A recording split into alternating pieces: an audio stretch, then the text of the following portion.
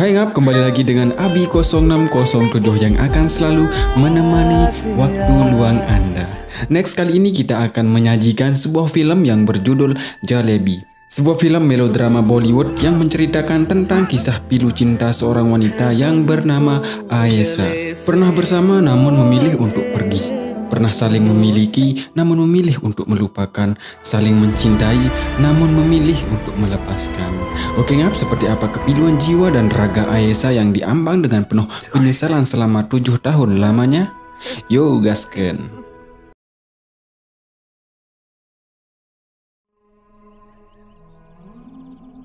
Terlihat Aisyah begitu rapuh, memilukan, putus asa bahkan ia sempat ingin bunuh diri. Penyesalanlah yang membuatnya begini. Kisah cinta tujuh tahun silam telah membuat hidupnya diambang penyesalan dan lara hati yang begitu menyedihkan. Oke ngap, sebenarnya film ini menggunakan alur maju mundur tapi ya kita ceritakan alur mundurnya alias masa lalunya dulu supaya alur ceritanya jelas. Dan ceritanya dimulai dari sini. Namanya adalah Dev. Ia merupakan pemandu wisata di kotanya. Wajah manis dan gayanya yang cool membuat semua wanita akan terpana jika melihatnya. Netajis Manor merupakan nama silsilah keluarganya dan pada saat itu keluarganya sangat terkenal dan terpandang. Pada saat itu, Ayesa dan rombongan sedang melakukan study tour ke rumah relik atau bangunan tua milik keluarga Netajis Manor.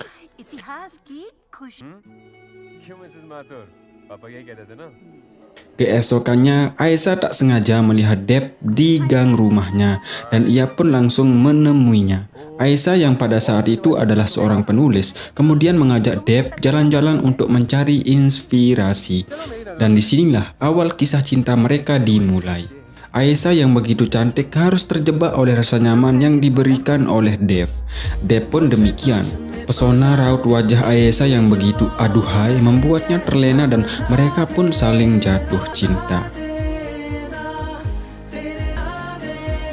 Tak butuh lama untuk saling kenal, paginya Aisyah langsung pergi ke rumah Deb dan mengajak Deb untuk menikah. Wow, gila men, baru kenal langsung diajak nikah loh. Gua yakin nih si ceweknya uh, Chang Ibrat. ya, dengan senang hati Deb pun menerimanya. Oke, singkat cerita mereka pun menikah. Saat Deb mengajak Aisyah sungkem ke keluarganya, terlihat Aisyah tak tahu aturan ya seperti orang yang tak punya etika guys ya. Tapi keluarga Deb saat itu memakluminya. Ya mungkin Aisyah belum tahu adat istiadat keluarga Netajis Manor. Deb yang saat itu sebagai tulang punggung keluarga harus bekerja keras dan bisa mengimbangi istrinya dan orang tuanya karena pada saat itu ia masih tinggal bersama keluarga. Satu pelajaran berharga dari adegan ini guys yaitu sebelum menjalin hubungan ke yang lebih serius, alangkah baiknya kita mengenali sifat sikap pasangan kita dan bisa saling menerima apa adanya bukan ada apanya. Oke okay, next.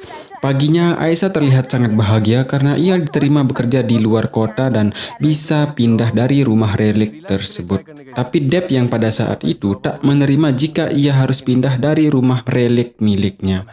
Karena kakeknya pernah berwasiat untuk tidak meninggalkan rumah tersebut.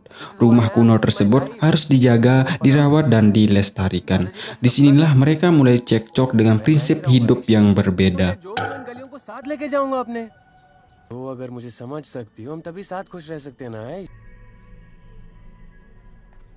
Saat Deb mengucapkan selamat ulang tahun, Aisyah kemudian memberitahukan ke Deb bahwa ia hamil. Deb pun sangat bahagia dan langsung memeluk istrinya itu guys.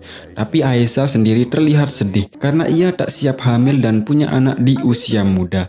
Aisyah lebih mementingkan karirnya, tapi Deb terus membujuknya agar bisa menerima kehamilannya. Deb pun tampak bahagia sekali karena sebentar lagi si buah hati akan melengkapi keluarga mereka, tapi tidak dengan Aisyah. Beberapa minggu kemudian, dengan wajah yang penuh amarah, Deb kemudian masuk ke rumah untuk mencari Aisyah. Ternyata Aisyah sudah menggugurkan bayi kandungannya. Ia belum siap menerima semua ini. Tapi Deb yang sangat mencintai Aisyah hanya bisa sabar dan pasrah apa yang telah Aisyah lakukan. बार-बार मेरी माँ को बीच में मत लेके आओ एक को चुनना पड़े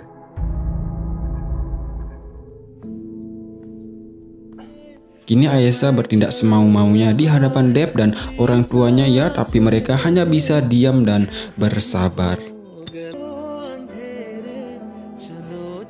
Keesokan paginya, tiba-tiba Aisyah sudah siap-siap untuk pergi meninggalkan Deb. Deb sendiri tak bisa berkata apa-apa. Ia hanya bisa pasrah.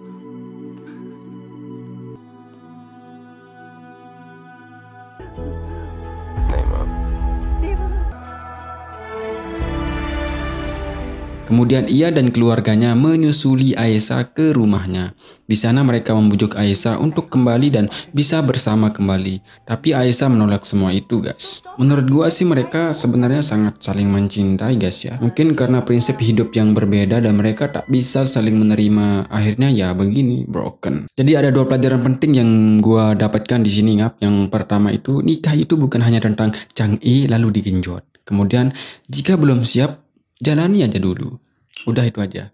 Oke ngap seperti apa endingnya? Let's go kita lanjut. Tujuh tahun lamanya ia berlarut-larut dalam kesedihan yang mendalam dan penuh penyesalan. Ia kemudian meminta ke ayahnya agar diizinkan ke Delhi.